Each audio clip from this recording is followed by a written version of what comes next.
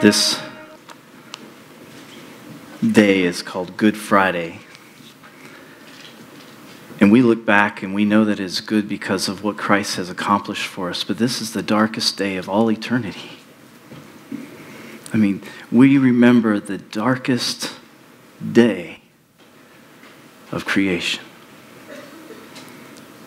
And it causes us to worship. It starts in the Garden of Gethsemane. And I want to read you that passage. It's really short. It's not our passage for tonight.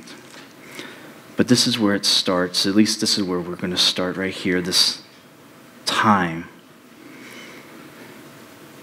It says this in Luke chapter 22, verse 39. It says, And he came out and went, and as was his custom, to the Mount of Olives, and his disciples followed him. And when he came to the place, he said to them, Pray that you may not enter into temptation. And he withdrew,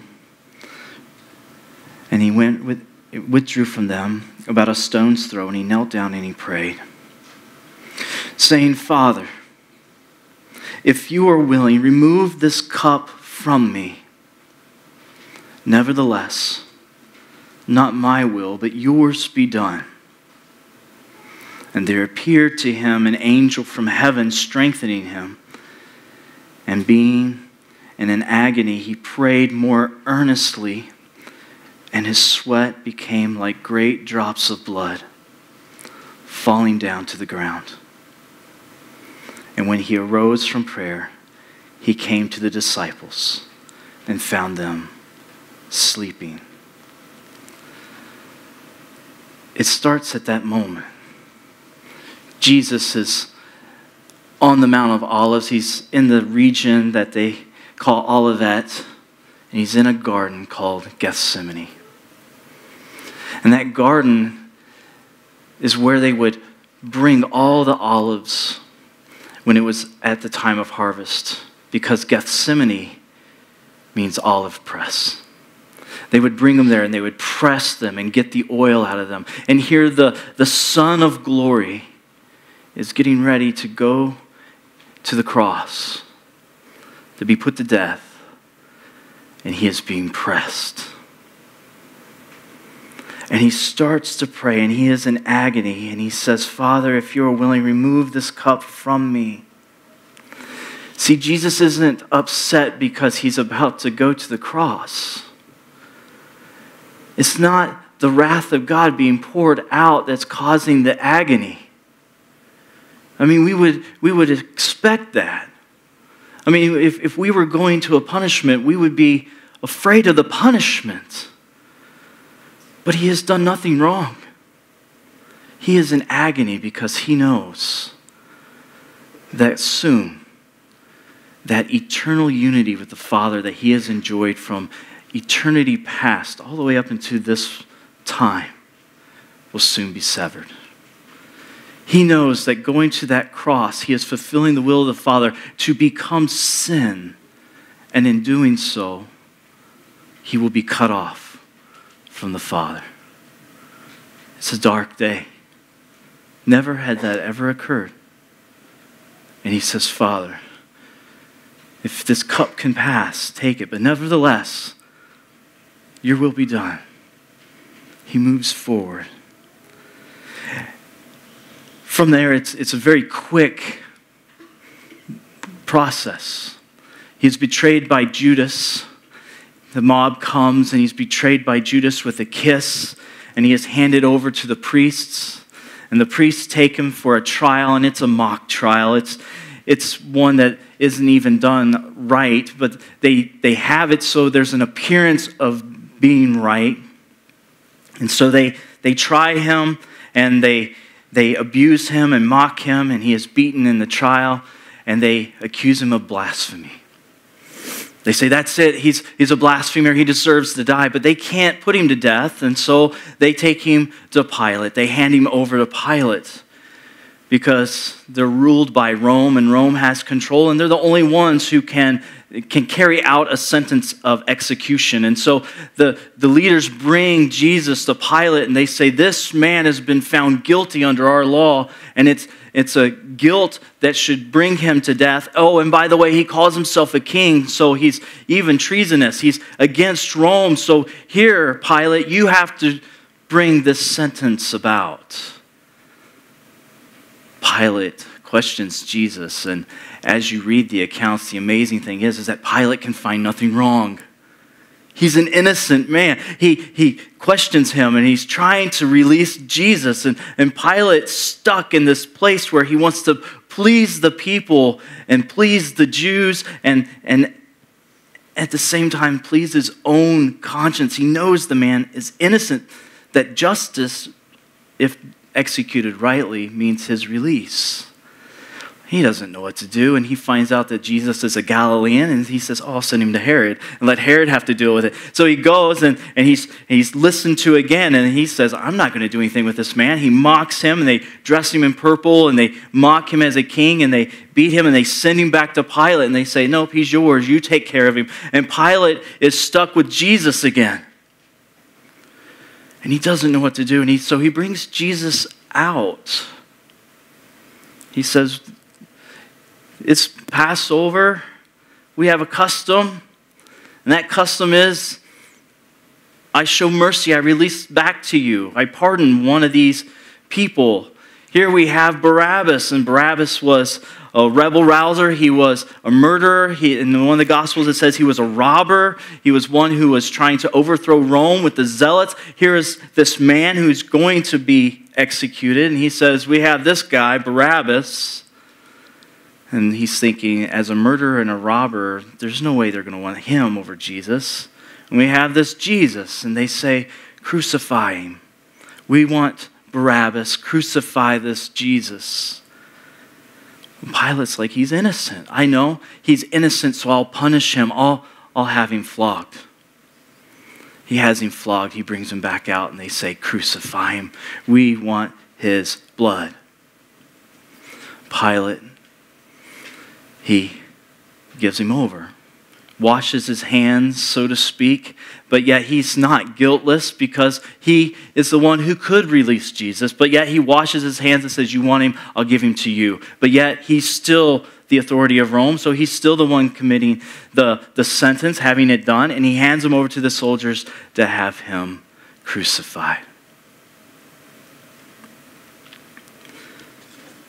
He's betrayed by Judas for greed. Judas wanted money, he wanted something more than the righteousness of God. There's something his heart longed for, and we have that in ourselves. There's, what are we greedy for? We are all greedy for something somewhere.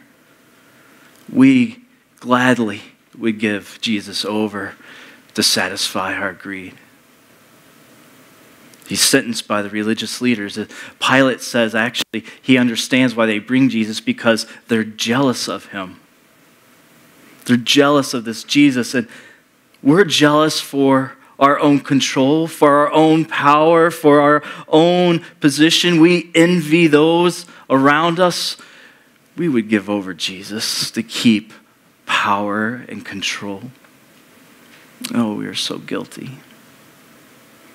He's given over by Pilate, wanting to release him, but more wanting to satisfy men, to placate the crowd, to give them what they want. His choice is honor or ambition, it's principle or expediency. Our conscience too can be drowned out by the world's voices, and we too can capitulate all too often because we, like Pilate, become cowards to walk in righteousness.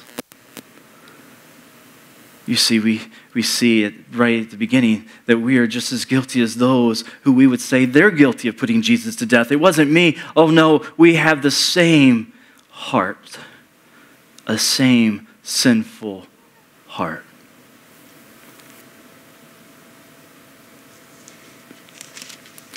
Luke chapter 23, and you can follow with me. And as they led him away, they seized one, Simon of Cyrene, who was coming in from the country and they laid on him the cross to carry it behind Jesus. And there followed him a great multitude of the people and of women who were mourning and lamenting for him. But turning to them, Jesus said, Daughters of Jerusalem, do not weep for me but weep for yourselves and for your children. For behold, the days are coming when they will say, Blessed are the barren, and the wombs that never bore, and the breasts that never nursed. Then they will say to the mountains, Fall on us, and to the hills, Cover us. For they do these things. For if they do these things when the wood is green, what will happen when it is dry? Here, Jesus is too weak to carry the cross. And so they pull this man out of the crowd, Simon, and they make him carry the beam that Jesus is too weak to carry. He is humiliated even further by having to carry the instrument of his death to the place of his death. And on the way, the women and those are weeping and they're, they're torn. They're seeing what has happened to this Jesus. And he says, with such great compassion, he says, Don't weep for me. Don't weep for me. He's like, It's for you. It's for you you should have great concern. He's more interested in their repentance than he is in their sympathy. He says, It is for you you should be looking to, not to me. For a day is coming when justice will be handed out. And at that day, it will be fearful. He says, Because if the Jews will hand me over, if Rome will do this to me, if these things will happen when it is green, how much worse will it be when the time is fulfilled? And he says, and it is dry. We see such great compassion in our Savior, even on his way to his death. Verses 32 to 34. There were two others who were criminals. They were led away to be put to death with him. And when he came to the place that is called the skull, there they crucified him. And the criminals, one on his right and one on his left, and Jesus said, Father, forgive them, for they know not what they do. And they cast lots to divide his garments. You see, there were two criminals that were also being put to death that day. And so they take him to the place of the skull. Now, if you looked at pictures today, uh, Jerusalem has grown so much that actually the hillside where the place of the skull is, which is called Golgotha, there is, or actually like an interstate that runs under it. But on the side, the rocks are formed in such a way that it looks as a skull, and it's outside of the city, and it's a hill. And so they would crucify, Rome would crucify those who were guilty on this hill. So you could look up, lifted up was Christ, and you would, they would look up and see those who were being crucified at this place of death. And these criminals were there to be put to death with him and Jesus is placed in the middle. And in this moment, says they crucified him. The soldiers lay him on the beam. They drive nails through his wrists and through his feet to keep him stationary. There'd be a little stool that's also kind of put on the cross so it, it keeps the prisoner from actually tearing away from the cross, keeps him there and then they drop the cross into a, a, a, there's a small hole. They just drop the cross down into it and they would fix it in there so it's stationary. And they would jar him as he is dropped. And what does he say? Father, forgive them, for they know not what they do. This passage is not a, a them, meaning the Roman soldiers who are nailing him there as them as not just the Jews, it is them universal. He is saying, Father, forgive them. Forgive you. Forgive me. Forgive mankind, for they don't understand what they're doing. The, the sin of man does not know what it is doing here. Don't hold this death against them, but hold this death in their place, those who would come for faith. And he says, they do not know what they do. It says here, they cast lots to divide his garments. Oh, think back with me. Back in the garden, Adam was naked and unashamed, and then sin and death comes into the world. And what does he do? He covers himself and he hides and he's clothed and he's, he's trying to hide from God. And he feels guilt. And Christ is stripped naked and put on the cross. And he is guiltless. He has no guilt. He is innocent and he takes on the guilt of man, and he is stripped bare, laid for all to see. In Genesis, the blood of Abel cried out for justice. At the cross, the blood of Jesus brings satisfaction, brings the justice that is called for. So he says, Father, forgive them they do not know what they do. Verse 35 to 39. And the people stood by watching, but the ruler scoffed at him, saying, He saved others, let him save himself. If he is the Christ of God, if he's the Messiah of God, the chosen one. The soldiers also mocked him, coming up and offering him sour wine, and saying, If you are the king of the Jews, save yourself. There was also an inscription over him This is the King of the Jews. And one of the criminals who were hanged railed at him, saying, Are you not the Christ? Save yourself and us. He had been beaten, he had been mocked, he was innocent. He's being crucified between two who are guilty. And the soldiers even hear if you were a king, command your people. Oh, let's get wine for the king, and it's sour vinegar and this sponge to help ease the suffering of those who are being crucified. And they're, and they're bringing that up and not just offering it to him, but they're mocking him. They're like, Here's your wine, your majesty. If you're the king, Command your people, have them save you, bring yourself down. And the, and the religious leaders are saying, if you're the Christ, save yourself. You've saved others, save yourself. And then even the one who is guilty and is going to die, even this criminal who's guilty says to him, Are you not the Christ? Then prove it. Save yourself and us. Get us off the cross. Come on. Mocks him. Taking guilt and shame and ridicule. He's dying. Verse 40 to 43 But the other rebuked him, saying, Do you not fear God, since you are under the same sentence of condemnation?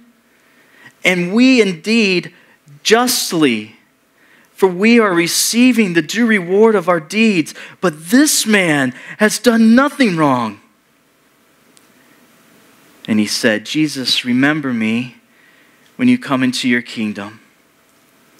And he said to him, Truly, I say to you, today you will be with me in paradise. Do you not fear God? Do you not fear God? We are dying, but justly. We deserve the death. This man does not. And seeing this, the, the criminal being crucified there, seeing this and listening to the mockery and listening to what they're saying about this Messiah, comes to the realization he is who they say he is. And they're killing him. And he has no guilt But yet we justly are being put to death, and he knows that in a moment his life is going to be over. And he will stand before holy, holy, holy God.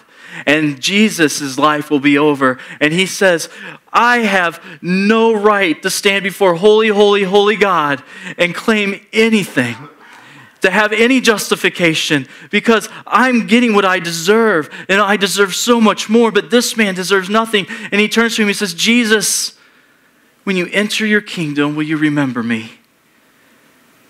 My only hope is in the one who is innocent. My only hope is in this man to, to speak for me before holy God, that Jesus would, would be my advocate. Here's my faith. Jesus, I'm about to die. And so when we stand before holy, holy God, before the Father, and justice will be sentenced, will you remember me? And Jesus says, I tell you the truth, today you will be with me in paradise. Oh, paradise. Paradise. Jesus spoke of hell many times when he walked the earth. And hell was a place that had eternal consequence. See, hell is the separation from God. And God made man with an eternal soul. Man is eternal, and hell is eternal, and God is eternal. Why is this situation so important? He says paradise is that place in the parable he talked about where when man died, the rich man went to Sheol, he went to hell to be tormented. And while he was there, he looks up and he looks into the bosom of Abraham, he looks into paradise and he sees Lazarus with the rich man, and he says, Can he help me? Can he quench my tongue? I'm in agony. And Abraham says, We cannot. There is a chasm here. We cannot cross it. You had opportunity in this life, and this man had a hard life. He had suffering. And yet, now the reward comes, and he is comforted for all eternity here. But you, you have your reward which is condemnation. You see, because our rebellion is against an eternal, holy, holy, holy God, the punishment must fit. We are eternal beings. And our punishment against an eternal God means that we have a punishment, a wrath that is poured out and it is carried out. The sentence is eternity. And Jesus says to this thief, Today you will be with me. You will be comforted. His faith, his trust has been shifted to Jesus. And Jesus is dying for this thief in this moment. He says, Today, when it's all over, you will be with me. There's nothing this man can do except fall on the grace and mercy of Christ there at the cross. There's no good works to be done. There's nothing other than trusting in what Jesus is doing. And Jesus says, You will be with me this day in paradise. You see, we all, like sheep, have gone astray. We've all gone to our own way. In the eyes of every man is his own way that seems right, but the end is death. And here, Jesus says, For the one who trusts, this thief who trusts, is paradise verse 44 and following. It was now about the sixth hour, and there was darkness over the whole land until the ninth hour. And while the sun's light failed, and the curtain of the temple was torn in two, then Jesus, calling out with a loud voice, said, Father, into your hands I commit my spirit.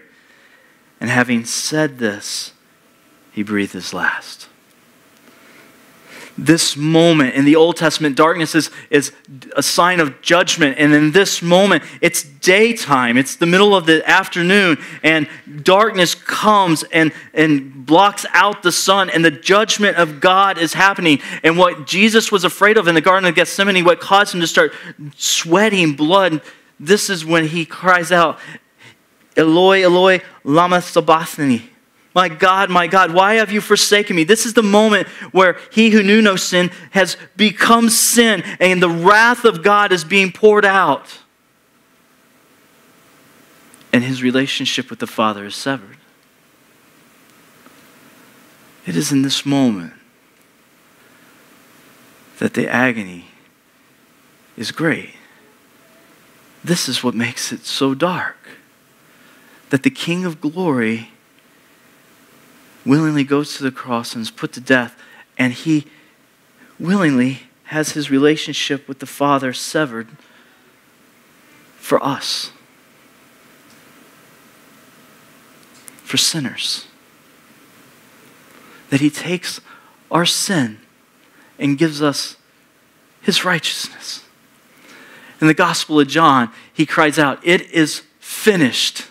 And if you remember with me back to the beginning of John that we had been studying, we talked about the bridegroom coming for his bride, and he had to meet with the, the elders at the gate, and he would have to provide a, a, payment, a dowry for that bride. And in this situation, to redeem the church, to redeem the bride that Jesus wants, he is saying that it takes my very life to do so, to make her clean and pure, to sanctify her and make her able to come into the presence of God, into our presence. I have to give my very life for her and spill my blood for her, to be the sacrifice for her because she cannot do this. And this is the payment that must be paid if I am to receive my bride, the church. And Jesus on the cross says, It is finished, saying, I have paid all that is required. I have done it. And now the bride can be received. She can be mine. She can now be washed white and pure, and she can be holy in our sight because she is now given my righteousness. I have provided for her. It is finished. And Jesus says, Father, into your hands I commit my spirit. And he breathes his last. He is dead. Verse 47. Now, when the centurion saw what had taken place, he praised God, saying, Certainly this man was innocent. And all the crowds that had assembled for this spectacle, when they saw what had taken place, returned home, beating their breasts. And all his acquaintances and the women who had followed him from Galilee stood at a distance watching these things. The other Gospels give us a, a fuller picture. The, the darkness came and the veil is torn in two, meaning that now man has access to God. And we now can come, because of the blood of Jesus, we now can come to God. We can be reconciled. We can be counted as sinless and guiltless, and we can come to God. And there was a great earthquake, and the centurions are there, and they're watching this all happen. They've killed so many people that they know the difference between those who are guilty and innocent. He can look and look at Jesus and know how he suffers and know if this man truly was innocent or not. And he sees it and he beholds the earthquake and he beholds the darkness and all that has happened, and they are, they are very much afraid. And he says, Truly, this man was innocent. Truly, he was the Son of God. Truly, he was the King of the Jews. I mocked the King, and he was the innocent one, and he truly was Messiah. And he has this moment of clarity. And those who saw it, they go away and they're beating their breast. The guilt of it sits on them. The ones who were there crying, Crucify, crucify now see Jesus crucified and dead, and they were, we were so wrong. What have we done? What have we done? We have crucified this man who was sinless, who was without guilt. We have murdered him. His blood is on us. Where is hope to be found now? The one that was hailed as Savior, as Messiah, we have killed him. Where is hope to be found? Because we put him to death. So they leave in anguish, beating their breasts. 50 to the end of the chapter. Now there was a man named Joseph from the Jewish town of Arimathea, And he was a member of the council, a good and righteous man who had not consented to their decision and action. And he was looking for the kingdom of God. Well, this man went to Pilate and asked for the body of Jesus. Then he took it down and wrapped it in a linen shroud and laid him in a tomb cut in stone where no one had ever yet been laid. It was the day of preparation, and the Sabbath was beginning. The women who had come with him from Galilee followed and saw the tomb and how his body was laid. And then they returned and prepared spices and ointments. On the Sabbath day they rested according to the commandment. Joseph comes. He's part of the council. We also read in the other gospel that Nicodemus comes, who also was part of the council, and these two men said, No, he's, he's not worthy of death. He's not a blasphemer. He's not guilty. He's bringing the kingdom of God to us. And they looked for Jesus to bring the kingdom of God. After his death, Joseph goes to Pilate. He asks for the body. And because it is the day of preparation, there's no time to do all that is needed or required to give a proper burial, but he can bury him in his own grave. And so he wraps him in a linen shroud and he puts him in there and they seal the tomb. And the women go and they see what is where he is laid and they return. This is a dark day, but it is a good day because the will of the Father was to redeem sinful man. And the blood that was shed was, was that innocent Lamb of God who was slain for, for us so that we could be set free from sin and death and our relationship to God restored. What was accomplished in that moment of darkness at the earthquake when the Son of God died? What was accomplished? God's law was satisfied that justice was rightly given. And this is a marvelous thing to behold that eternal God who gives his wrath that is without measure for those who perish without Jesus will have the wrath poured out on them for eternity in a place called hell.